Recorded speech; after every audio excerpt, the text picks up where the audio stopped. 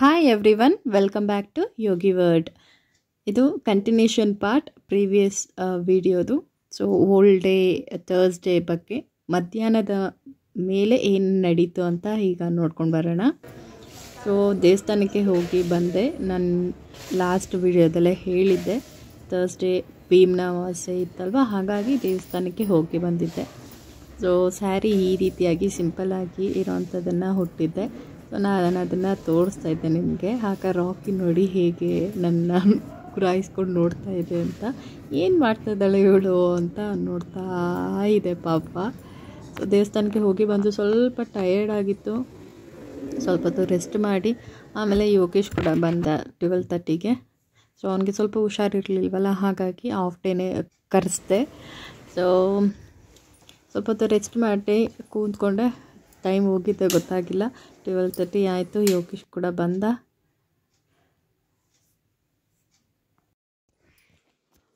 Chocolate ಯಾರ್ದು birthday birthday ಯಾರ್ದು? Friends. Friends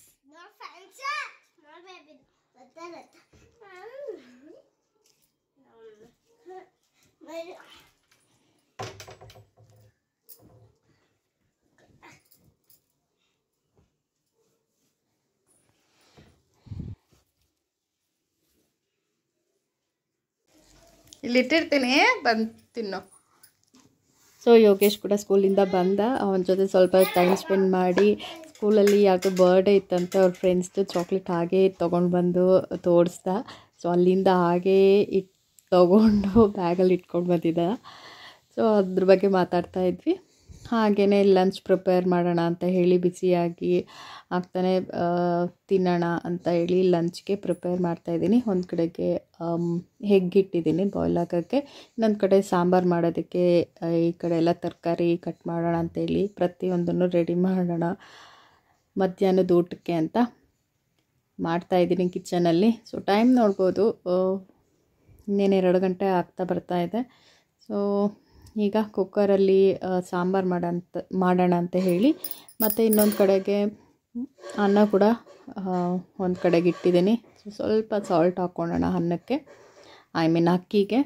so ಅನ್ನ ಆಗೋದಕ್ಕೆ ನೆಕ್ಸ್ಟು ಎಗ್ ಕೂಡ ಇಟ್ಟಿದ್ದೀನಿ.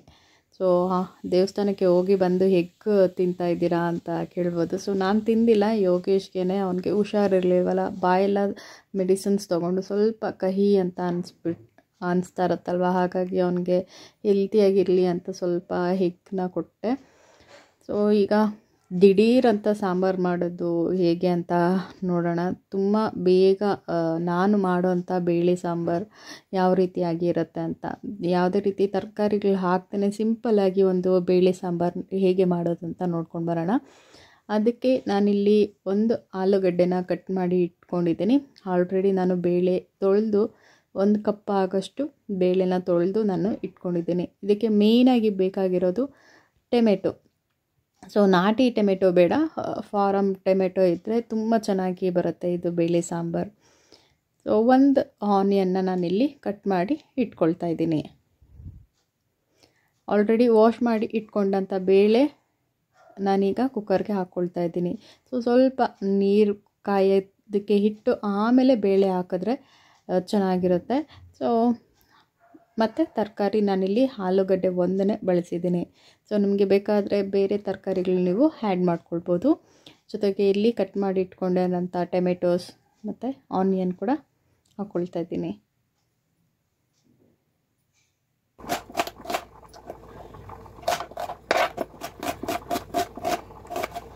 ತುಂಬ ಕಡಿಮೆ ಸಮಯದಲ್ಲಿ ಇದನ್ನು ಮಾಡ್ಕೊಳ್ಬೋದು. ಸೊ ಬೇಗ ಮಾಡಬೇಕು ಅಡುಗೆ ಮಧ್ಯಾಹ್ನಕ್ಕೆ ಆಗಿರ್ಬೋದು ರಾತ್ರಿಗೆ ತುಂಬಾ ಬೇಗ ಆಗುತ್ತೆ ಇದು. ಇದಕ್ಕೆ ಸ್ವಲ್ಪ ಅರಶಿನ ಮತ್ತು ಸಾಲ್ಟ್ ಹಾಕ್ಕೊಂಡಿದ್ದೀನಿ ಸೊ ನಾನು ಒಂದು ಡಿಫ್ರೆಂಟಾಗಿ ಸಾಂಬಾರು ಮಾಡ್ತೀನಿ. ಸೊ ಒಂದೇ ಥರ ಬೇಳೆ ಸಾಂಬಾರಲ್ಲ, ತುಂಬ ರೀತಿಯಲ್ಲಿ ಬೇಳೆ ಸಾಂಬಾರನ್ನ ಮಾಡ್ಬೋದು. ಅದರಲ್ಲಿ ಇದೊಂದು ರೀತಿಯಾಗಿ ಸೊ ಟೂ ವಿಸಲ್ಸ್ ಕರೆಸ್ಕೊಳ್ಳೋಣ ಸಾಕು. ತುಂಬ ತ್ರೀ ವಿಸಲ್ ಫೋರ್ ವಿಸಲ್ ಎಲ್ಲ ಕಡಿಸ್ಕೊಂಡ್ರೆ ನುಣ್ಣಗಾಗ್ಬಿಡುತ್ತೆ.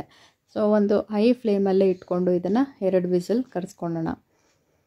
ಸೊ ಅದು ಅನ್ನ ಅದೆಲ್ಲ ಹಾಕ್ತಿರ್ಲಿ ಬಾಯ್ಲ್ ಆಗ್ತಿದ್ದಂಗೆ ಈ ಕಡೆಗೆ ಸಿಂಕಲ್ಲಿರೋಂಥ ಪಾತ್ರೆಗಳನ್ನೆಲ್ಲ ವಾಶ್ ಮಾಡ್ಕೊಬಿಡ್ತೀನಿ. ಕುಕ್ಕರ್ ವಿಸಲ್ ಕರಿಯೋಷ್ಟರಲ್ಲಿ ನಾನು ಪಾತ್ರೆಗಳನ್ನೆಲ್ಲ ವಾಶ್ ಮಾಡ್ಕೊಬಿಡ್ತೀನಿ.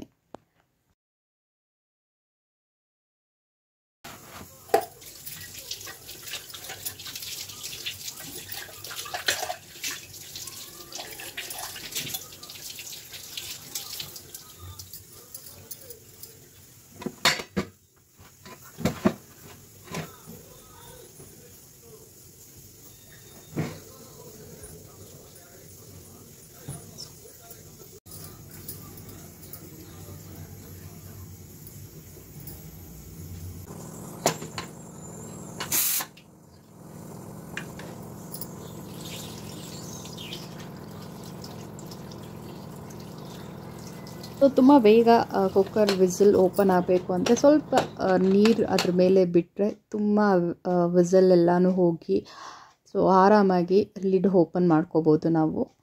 ಸೊ ಇದೊಂದು ಟಿಪ್ ಅಂತಲೇ ಹೇಳ್ಬೋದು. ತುಂಬ ಪ್ರೆಷರೈಸ್ಡ್ ಆಗಿರುತ್ತೆ.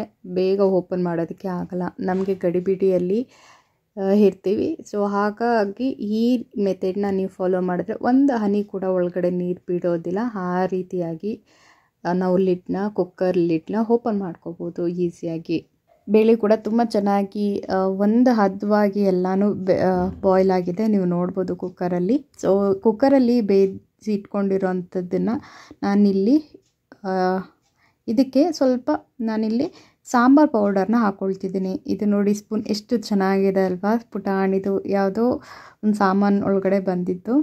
ಸೊ ಒಂದು ಸ್ಪೂನಷ್ಟು ಆಗೋಷ್ಟು ನಾನಿಲ್ಲಿ ಸಾಂಬಾರು ಪೌಡ್ರನ್ನ ಹಾಕ್ಕೊಂಡು ಚೆನ್ನಾಗಿ ಮಿಕ್ಸ್ ಮಾಡ್ಕೊಳ್ತಾ ಇದ್ದೀನಿ. ಸೊ ಸಾಂಬಾರು ಪೌಡರ್ ಕೂಡ ಹೋಮ್ ಮೇಡೇ ಆಗಿರುತ್ತೆ.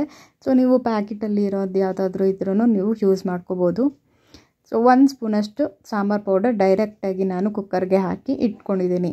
ಸೊ ಈಗ ಒಗ್ಗರಣೆಗೆ ಸ್ವಲ್ಪ ಸಾಸಿವೆ, ಕರಿಬೇವು, ಎಣ್ಣೆ ಮತ್ತು ಡೈಜೆಷನ್ ಚೆನ್ನಾಗಿ ಆಗೋದಕ್ಕೆ ಮತ್ತು ಒಂದು ಒಳ್ಳೆ ಘಮ ಬರೋದಕ್ಕೆ ನಾನಿಲ್ಲಿ ಹಿಂಗನ್ನು ಹಾಕ್ಕೊಂಡಿದ್ದೀನಿ ಮತ್ತು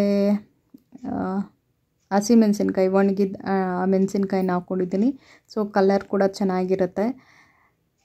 ಸ್ವಲ್ಪ ಹಿಂಗ ಹಾಕ್ಕೊಳೋದ್ರಿಂದ ತುಂಬ ಒಳ್ಳೆ ಒಂದು ಘಮ ಕೊಡುತ್ತೆ. ಮತ್ತು, ಇಲ್ಲಿ ಮೇಯ್ನಾಗಿ ಸ್ವಲ್ಪ ನಾನಿಲ್ಲಿ ಸಾಂಬಾರು ಪೌಡರ್ನ ಈ ಒಗ್ಗರಣೆ ಹಾಕ್ಕೊಳೋ ಟೈಮ್ಗೆ ನಾನಿಲ್ಲಿ ಹಾಕ್ಕೊಂಡಿದ್ದೀನಿ ಸೊ ಸ್ವಲ್ಪ ಸಾಂಬಾರು ಹಾಕಿ ಲಿಡ್ ಕ್ಲೋಸ್ ಮಾಡೋಣ. ಸೊ ಈಗ ಒಳ್ಳೆ ಪರಿಮಳ ಘಮ ಘಮ ಅಂತ ಬರ್ತಾಯಿತ್ತು ಸೊ ಮಿಕ್ಕಿರೋಂಥ ಎಲ್ಲ ಸಾಂಬಾರು ಏನಿದೆ ಅಲ್ಲಿ ಮಿಕ್ಸ್ ಮಾಡಿ ಇಟ್ಕೊಂಡಿರೋಂಥ ಕುಕ್ಕರಲ್ಲಿ ಮಿಕ್ಸ್ ಮಾಡಿ ಇಟ್ಕೊಂಡಿದ್ರಲ್ಲ ಸೊ ಅದಕ್ಕೆ ಸ್ವಲ್ಪ ನೀರು ಹಾಕಿ ಇದಕ್ಕೆ ಹಾಕ್ಕೊಳ್ತಿದ್ದೀನಿ ಸೊ ಕನ್ಸಿಸ್ಟೆನ್ಸಿ ನಿಮಗೆ ಗೊತ್ತಾಗತ್ತಲ್ವ? ಎಷ್ಟು ತೆಳ್ಳಬೇಕು, ಎಷ್ಟು ಏನು ಅಂತ ಎಲ್ಲ.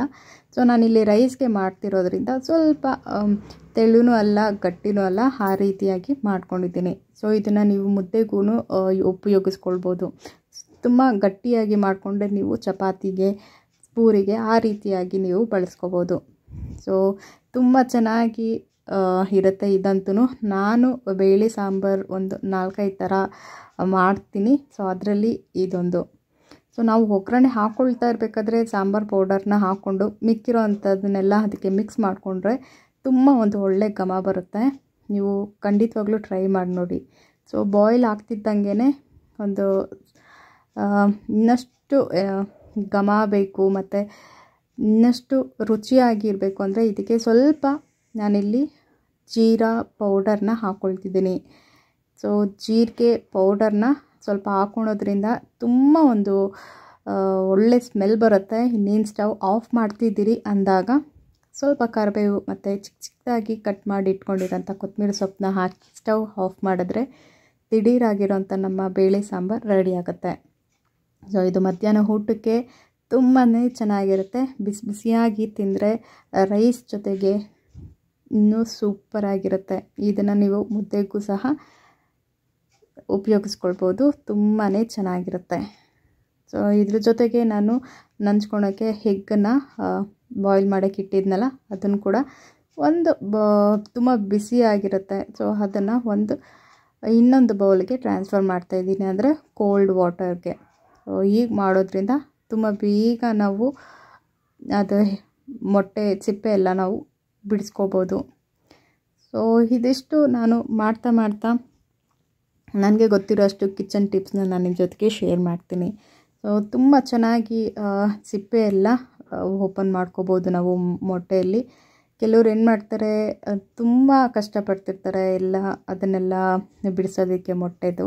ಸೊ ಇದೊಂದು ಈಸಿ ಮೆಥಡ್ ಸೊ ಮಧ್ಯಾಹ್ನ ಊಟಕ್ಕೆ ನಮ್ಮ ಬಿಸಿ ಬಿಸಿ ಆಗಿರೋವಂಥ ಮಧ್ಯಾಹ್ನ ಊಟ ರೆಡಿ ಆಯಿತು. ಸಾಂಬಾರು, ಬಿಳಿ ಸಾಂಬಾರು ಜೊತೆಗೆ ಸಕ್ಕತ್ತಾಗಿರುತ್ತೆ ಟ್ರೈ ಮಾಡಿ ನೋಡಿ. ಸ್ವಲ್ಪ ನೀವು ಇದಕ್ಕೆ ತುಪ್ಪನೂ ಹಾಕ್ಕೊಂಡು ತಿಂದರೆ ತುಂಬ ಎಮ್ಮಿಯಾಗಿರುತ್ತೆ ಸೊ ಬೇಳೆ ಸಾಂಬಾರು ಎಲ್ಲ ಕುಕ್ಕರ್ಗೆ ತರಕಾರಿ ಹಾಕಿ, ಸಾಂಬಾರು ಪೌಡರ್ ಹಾಕಿ, ವಿಸಿಲ್ ಕಡಿಸ್ಕೊಳೋದಕ್ಕಿಂತ ಈ ಮೆಥಡ್ನ ನೀವು ಫಾಲೋ ಮಾಡಿದ್ರೆ ಖಂಡಿತವಾಗ್ಲೂ ಅದರ ಫ್ರೇಗ್ರೆನ್ಸ್ ಮತ್ತು ಒಂದು ರುಚಿಯಾಗಿರೋಂಥ ಬೇಳೆ ಸಾಂಬಾರನ್ನ ನೀವು ಸವಿಬೋದು. ಸೊ ನಾನು ಮಾಡಿರೋಂಥದ್ದನ್ನು ನಾನು ನಿಮ್ಮ ಜೊತೆಗೆ ಶೇರ್ ಮಾಡ್ಕೊಳ್ತಿದ್ದೀನಿ. ಸೊ ನೀವು ಕೂಡ ಟ್ರೈ ಮಾಡಿ. ಖಂಡಿತವಾಗ್ಲೂ ಇದರ ಟೇಸ್ಟ್ ನಿಮಗೆ ಇಷ್ಟ ಆಗುತ್ತೆ. ಒಮ್ಮೆ ಆದರೂ ಟ್ರೈ ಮಾಡಿ.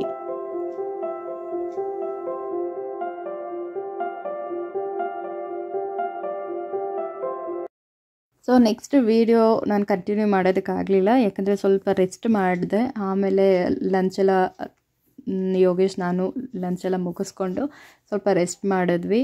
ಆಮೇಲೆ ಸಂಜೆಯಿಂದ ವ್ಲಾಗ್ನ ಕಂಟಿನ್ಯೂ ಮಾಡಿದೆ. ಅಂದರೆ ಗುರುವಾರ ಸಂಜೆಯಿಂದ.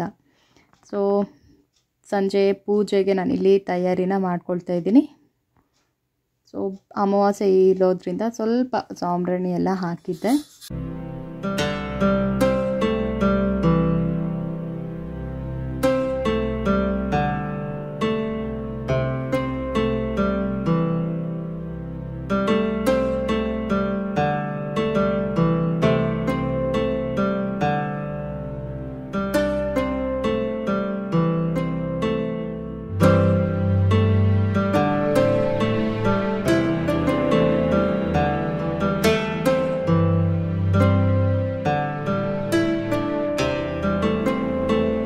ಸೊ ಪ್ರತಿ ಶುಕ್ರವಾರ ವಿಶೇಷವಾಗಿರುವಂಥ ದಿನಗಳಲ್ಲಿ ಸಾಂಬ್ರಣಿ ಮನೆಯಲ್ಲಿ ಮತ್ತು ದೇವ್ರ ಮನೆಯಲ್ಲಿ ಎಸ್ಪೆಷಲಿ ಹಾಕೋದ್ರಿಂದ ತುಂಬಾ ಒಳ್ಳೆಯದು ಏಕೆಂದರೆ ಎಲ್ಲ ನೆಗೆಟಿವಿಟಿ ಏನಾದರೂ ಮನೆ ಒಳಗಡೆ ಇದ್ದರೆ ಎಲ್ಲ ಹೊರಗಡೆ ಹೋಗುತ್ತೆ. ಮತ್ತು ಒಂದು ಪಾಸಿಟಿವ್ ವೈಬ್ಸ್ನೇ ಕ್ರಿಯೇಟ್ ಮಾಡುತ್ತೆ ಮನೆ ಒಳಗಡೆ. ಸೊ ಅದರ ಸ್ಮೆಲ್ ಕೂಡ ಆಗಿರ್ಬೋದು. ಮತ್ತು ಯಾವುದೇ ರೀತಿ ಒಂದು ನೆಗೆಟಿವಿಟಿನ ಎಲ್ಲ ಇಡೋದಿಲ್ಲ ಅಂತಲೂ ಹೇಳ್ತಾರೆ. ಇದಾಗಿತ್ತು ನನ್ನ old day vlog continuation part so ನಿಮ್ಮೆಲ್ಲರಿಗೂ ಇಷ್ಟ ಆಗಿರುತ್ತೆ ಅಂತ ಭಾವಿಸ್ತೀನಿ ಈ ವಿಡಿಯೋ ಸ್ವಲ್ಪ ಆದರೂ ಇಷ್ಟ ಆಗಿದ್ದರೆ ಪ್ಲೀಸ್ ಲೈಕ್ ಮಾಡಿ ಕಮೆಂಟ್ ಮಾಡಿ ಶೇರ್ ಮಾಡಿ. ಸೊ ಸಿಗೋಣ ನೆಕ್ಸ್ಟ್ ವೀಡಿಯೋದಲ್ಲಿ ಹೊಸ ವ್ಲಾಗ್ಸ್ ಜೊತೆಗೆ. Till then take care thank you so much for watching ಯಾರೆಲ್ಲ ಹೊಸಬ್ರು ನೋಡ್ತಿದ್ದೀರೋ, ದಯವಿಟ್ಟು ಸಬ್ಸ್ಕ್ರೈಬ್ ಮಾಡ್ಕೊಂಡು ನೋಡಿ ನಮ್ಮ ಚಾನಲ್ನ ಸಪೋರ್ಟ್ ಮಾಡಿ. ಇಷ್ಟೊತ್ತು ತಾಳ್ಮೆಯಿಂದ ನನ್ನ ವೀಡಿಯೋ ನೋಡಿದ್ದಕ್ಕೆ ಥ್ಯಾಂಕ್ ಯು ಸೊ ಮಚ್ ಮತ್ತೆ ಸಿಗೋಣ ಹೊಸ ವ್ಲಾಗ್ಸ್ ಜೊತೆಗೆ. Till then take care thank you so much for watching bye bye